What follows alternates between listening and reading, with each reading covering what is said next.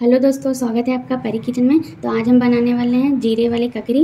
ये रेसिपी आप खीरे से भी बना सकते हैं, जिसके लिए मैंने एक ककड़ी लिया है। इसे बीच से कट कर लिया है।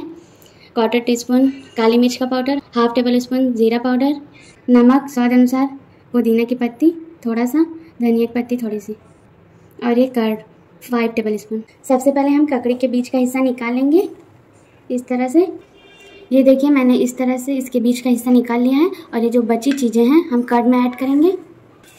और आप चाहें तो इसी तरह से खीरे को भी बना सकते हैं। मैंने इसे बारीक कट कर लिया है। अब हम इसे कर्ड में ऐड करेंगे।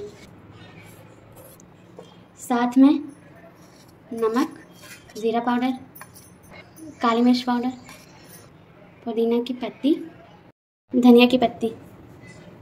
इन सारी चीज़ों को अच्छे से मिक्स कर लें। ये अच्छे से मिक्स हो चुका है। अब हम अपनी ककड़ी को दो हिस्सों में कट कर लेंगे, बराबर हिस्सों में। इस तरीके से। अब हम इस मिक्सचर को अपनी ककड़ी में फिल करेंगे।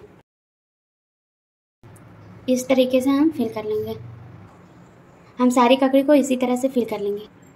ये देखिए, हमारे जीरे वाली ककड़ी बन के तैयार है।